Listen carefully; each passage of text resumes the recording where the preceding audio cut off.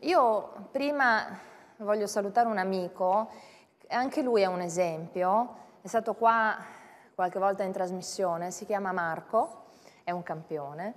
E Marco ha avuto una giovinezza segnata da tante difficoltà.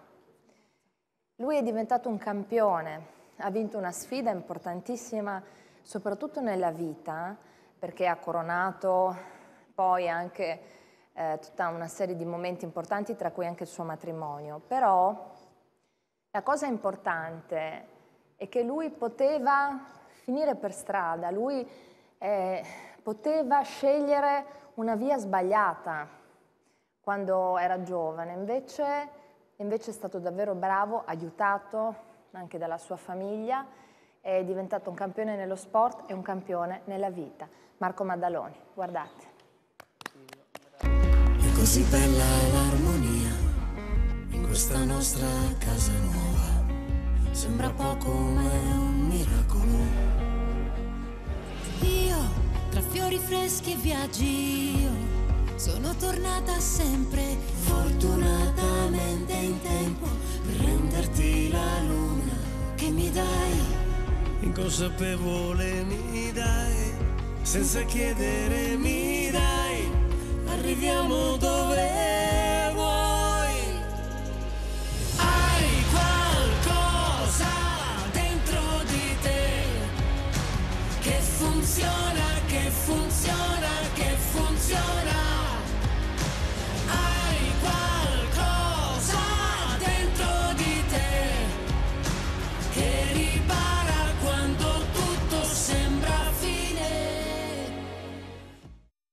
salve. Ciao Marco! Ciao Maria Teresa Ruta. Allora io la voglio raccontare così la tua storia, perché tu hai detto delle parole fortissime che mi hanno colpito. Intanto vabbè, complimenti per il matrimonio, per la felicità e tutto quanto. Però tu sei un uomo anche che ha sofferto, un ragazzo che ha sofferto tanto, eh? E che attraverso questa sofferenza è riuscito a salvare se stesso e a salvare anche tanti altri ragazzi del suo quartiere. Guardate. Terra mia, terra mia, com'è bella la punzata. Terra mia, terra mia, com'è bella sempre stessa, tutti i giorni può cagnare. Oggi è dritta, rimane storto e che sta vita se ne va. I vecchi vanno rinta chiesa come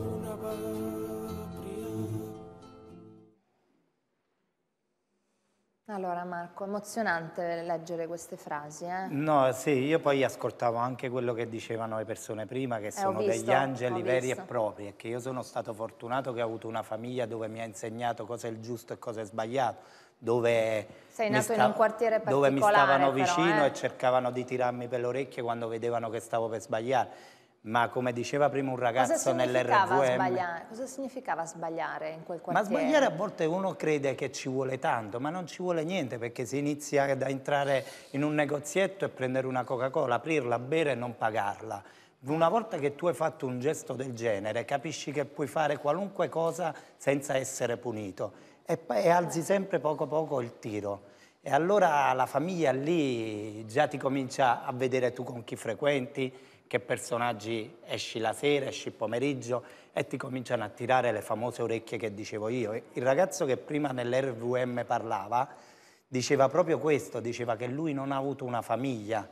E già non avere una famiglia, magari invece poi averla, ma averla anche che il padre sta in carcere e lui ha un esempio un po' negativo da seguire, lo porta su una cattiva strada. Allora, Maria Teresa Ruta, Corrado Tedeschi, ciao Corrado, in collegamento con noi. Ciao a tutti, ciao. Allora, Maria Teresa, queste storie sono fortissime, Sono fortissime. perché sono degli esempi, perché Sono- poi lui è diventato un campione e fra l'altro aiuta tanti altri ragazzi a non sbagliare. Eh, cioè, lui- i ragazzi adolescenti che lui porta nella sua attività, nella sua palestra e li avvicina al senso dello sport, no? ai valori dello sport e li toglie dalla strada. Per cui questo per... oggi ho voluto Marco proprio perché Certo. Marco è un esempio. eh, Marco è un grande esempio di vita, è un campione ed è, ed è uno che ha ammesso anche le volte in cui ha sbagliato e questo è stato anche molto importante perché eh, raccontando, come diceva giustamente, se tu non sei punito vai oltre, vai sempre oltre. Tutti i ragazzi sbagliano, ne- soprattutto nell'adolescenza, io parlo per i miei, ci, mancherebbe, eh, perché vogliono provare una certa ebbrezza. Lì ci possono essere i genitori presenti, le istituzioni, gli amici, gli amici sbagliati. Quante volte gli amici sbagliati? Quante volte io dovuto controllare gli amici?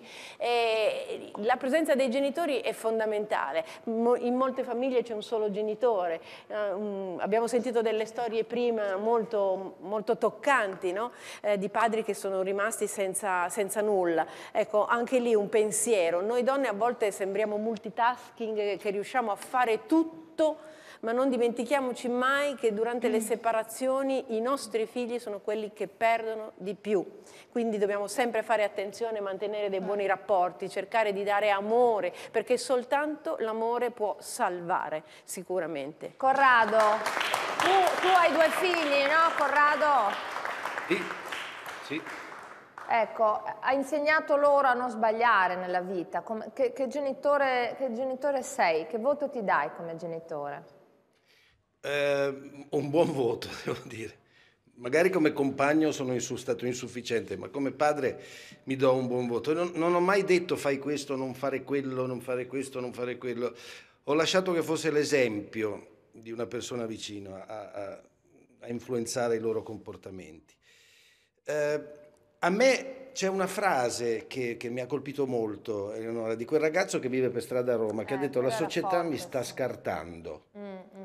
Che Sì. società è una società che scarta gli esseri umani, Mm. che lascia indietro quelli più bisognosi? Che società è?